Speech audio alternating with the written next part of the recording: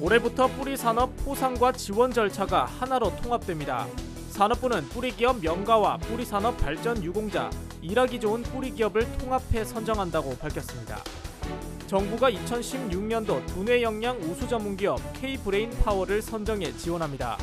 올해는 5개 분야 40여 개 기업을 선정할 계획입니다.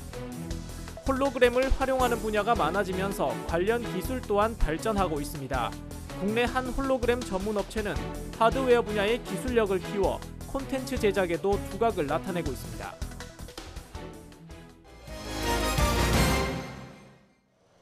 산업통상자원부는 그동안 각각 진행해온 뿌리산업 포상과 지원 절차를 올해부터 처음으로 통합해 실시하기로 했습니다.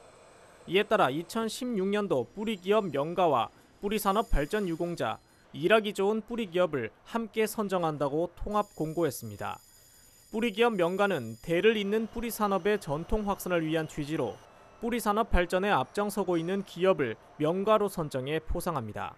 또 뿌리 산업 발전 유공자를 선정해 종사자들의 노고를 치하하는 한편 근무 환경이 우수하고 인재 육성에 앞장서는 일하기 좋은 뿌리 기업을 지원할 방침입니다.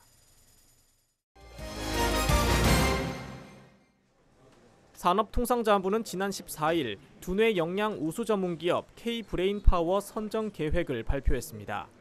올해는 40여 개 기업을 선정하며 대상 업종은 지난해와 같은 엔지니어링과 디자인, embedded 소프트웨어 등 5개 분야입니다.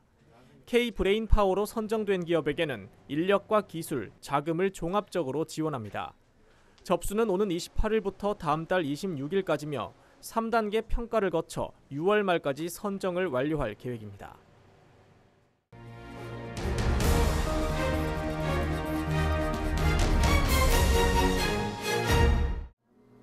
무대에 투명 스크린이 내려오고 홀로그램 영상이 띄어집니다.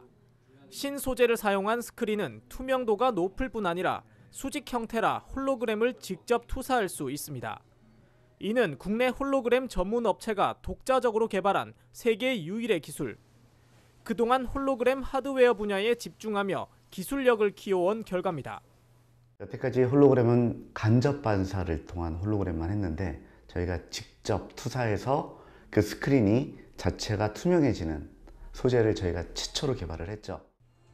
실제 홀로그램 공연장을 축소한 무대에서 그룹 원더걸스의 공연이 화려하게 펼쳐집니다. 최근에는 이처럼 콘텐츠 기획과 제작 분야까지 활동 영역을 넓혔습니다. 이제 홀로그램 공연은 한류 붐을 타고 해외 시장에도 진출했습니다. 싱가포르에 위치한 홀로그램 전용 공연장. 그룹 갓세븐 등이 출연한 K-live 홀로그램 공연은 현지에서 뜨거운 반응을 얻었습니다. 한류의 문화가 세계로 나아가는데 어, 이 정도의 반응이 좋을지는 몰랐거든요. 그래서 저희가 이제 싱가포르를 모토로 해서 뭐 홍콩, 그다음에 일본 계속 나아갈 중국까지 나아갈 방향으로 잡혀져 있고요. 실감형 콘텐츠로 주목받는 홀로그램은 앞으로 공연뿐 아니라 간판이나 조명 시장으로까지 그 영역이 확대될 전망입니다. 채널I 산업뉴스 이창수입니다.